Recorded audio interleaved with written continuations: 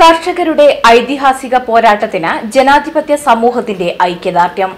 ഒരു നേരത്തെ ഭക്ഷണം ഒഴിവാക്കി വടകരയിൽ നിരവധി പേർ പരിപാടിയിൽ പങ്കാളികളായി. ഒരു നേരത്തെ ഭക്ഷണം ഒഴിവാക്കി തങ്ങളുടെ പോരാട്ടത്തോട് ഐക്യപ്പെടാനുള്ള കർഷകരുടെ ആഹ്വാന പ്രകാരമാണ് ജനാധിപത്യ വിശ്വാസികൾ ഐതിഹാസിക പോരാട്ടത്തിന് ഐക്യദാർഢ്യം പ്രകടിപ്പിച്ച ഉപവാസമിരുന്നത് പരിപാടിയിൽ Shreyas L K T Rajan D Deepa തുടങ്ങിയവർ അഭിവാദ്യം ചെയ്ത് സംസാരിച്ചു.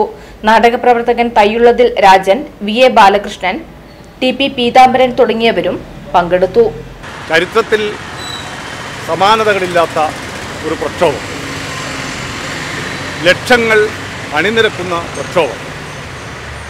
ഒരുപക്ഷേ ഇത്രയും വ്യാപകമായ ഒരു പ്രക്ഷോഭം സ്വാതന്ത്ര്യപ്രാപ്തിക്ക് മുമ്പ് ഗാന്ധിജിയുടെ നേതൃത്വത്തിൽ നടന്ന ഉപ്പ് സത്യാഗ്രഹമായി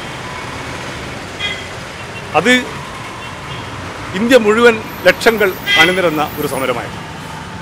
അതേപോലെ ഇപ്പോൾ ഡൽഹിയിൽ കർഷകർ നടത്തുന്ന ഉപരോധ സമരം മൂന്ന് കാർഷിക നിയമങ്ങൾക്കെതിരായി നടത്തുന്ന സമരം ലക്ഷങ്ങൾ പങ്കെടുക്കുന്ന സമരം.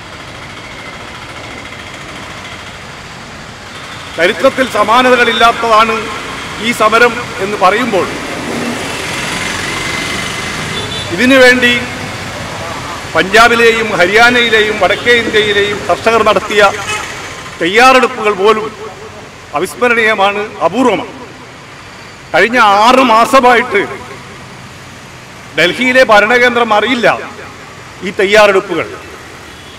അവർ സെപ്റ്റംബറിൽ വിളകൾ കൊയ്തു പുതിയ വിളകൾക്ക് വിത്തിട്ടു ഓരോ ഗ്രാമത്തിലെയും പകുതി കർഷകർ പ്രക്ഷോഭത്തിൽ പങ്കെടുക്കുക പകുതി പേർ കൃഷി ചെയ്യുക.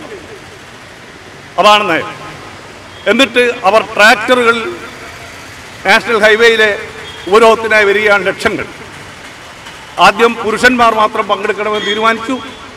പിന്നീട് സ്ത്രീകളും കുട്ടികളും ആ സമരത്തിൽ അണിചേർന്നു. ഓരോ ട്രക്കിനു പിന്നിലും രണ്ടും മൂന്നും ട്രോളികൾ ഘടിപ്പിച്ച് ആറ് മാസത്തേക്ക് ആവശ്യമായ ഭക്ഷ്യധാന്യങ്ങളും കിടപ്പാ കിടപ്പട സൗകര്യങ്ങളും ഗ്യാസ് സ്റ്റൗവും ഒക്കെ വെച്ചിട്ടാണ് അവർ ഡൽഹിയിലേക്ക് വരുന്നത്. അതായത് ഒന്നോ രണ്ടോ ഒന്നോ രണ്ടോ ആഴ്ച കൊണ്ടോ അവസാനിപ്പിക്കുന്നതല്ല ഈ കരിനിയമം പിൻവലിക്കുന്നത് വരെ ഡൽഹി ഉപരോധിക്കും എന്ന ഉറച്ച തീരുമാനത്തിലാണ് കർഷകർ ഡൽഹിയിലെത്തുന്നത്.